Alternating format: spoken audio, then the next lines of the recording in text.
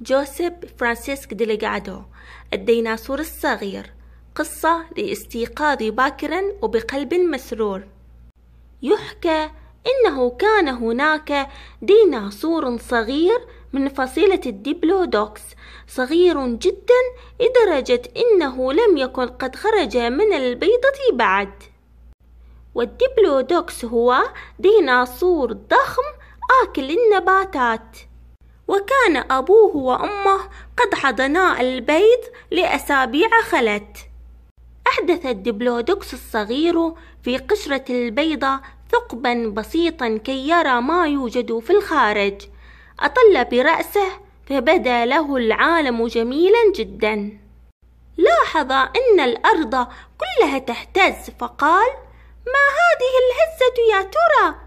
نظر حوله في كل اتجاه ولم يرى أحدا. كان والداه غائبين.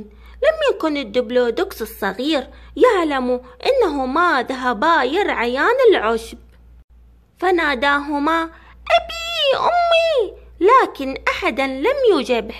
بعدها لاحظ الدبلودوكس الصغير أن الأرض تهتز اهتزازا أشد فانتابه القلق.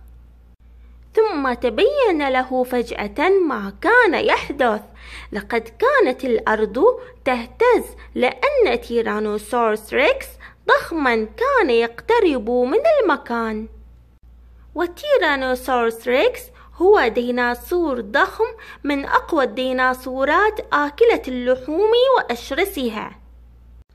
كان يريد أن يأكل البيضات ويأكله هو أيضا فأخذ الديبلودوكس الصغير يصرخ مرتعدا. هذا الدبلودوكس الصغير أطرى من أي حيوان صغير آخر. سألتهمه في لقمة واحدة.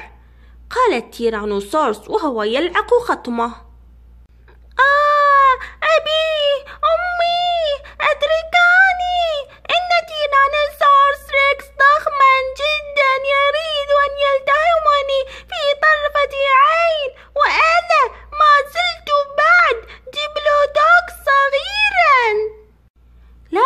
والديه لم يسمعاه لأنهما كانا بعيدين جدا.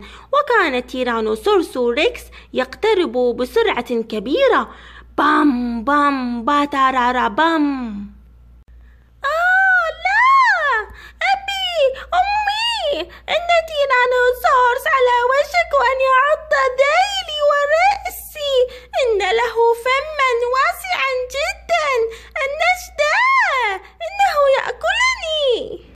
وفي اللحظة التي كان فيها التيرانوسورس يهم بالتهم الدبلودوكس الصغير كما لو كان حبة زيتون ظهر الأب والأم وكانا يركضان مسرعين.